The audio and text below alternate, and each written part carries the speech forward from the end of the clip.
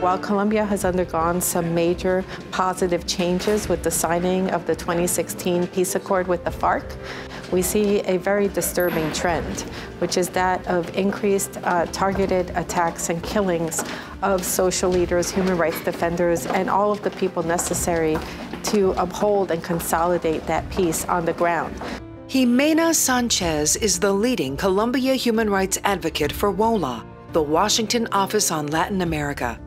The Carter Center's Human Rights Program brought Ms. Sanchez to participate in the Center's 2018 Restoring Faith and Freedom Human Rights Defenders Forum and to share her message with the U.S. Senators in Washington, D.C. So, since November 2016, more than 311 human rights defenders, uh, community leaders have been killed, disproportionately Afro Colombian and indigenous. Most of my work involves trying to prevent those attacks from taking place, uh, trying to shame um, local authorities and the Colombian government into guaranteeing that people aren't harmed if they are receiving death threats and intimidation. And lastly, using international mechanisms that exist to guarantee that there is an investigation and prosecution um, in those cases so that they don't continue to take place.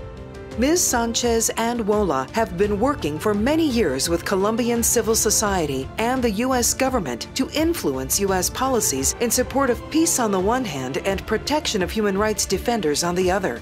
Their efforts resulted in a five year suspension of the U.S. Colombia Free Trade Agreement. That permitted for a lot of uh, discussion on human rights that led to two important documents. The first one being the U.S. Colombia Labor Action Plan that specifically led to the reduction of uh, the killing of trade unionists. In addition, WOLA's advocacy helped result in the inclusion of a chapter of the peace agreement which provides for ethnic minority and indigenous peoples' rights. The United States ended up paying a lot of attention to our partners of the Ethnic Commission and facilitating their direct negotiation between the FARC guerrillas and the Colombian government and leading to something called the ethnic chapter, which transversally applies the collective land rights and the cultural and political and economic rights of Afro-Colombian and indigenous people throughout the entire peace agreement. Ms. Sanchez calls for a reframing of human rights as integrated and mutually reinforcing,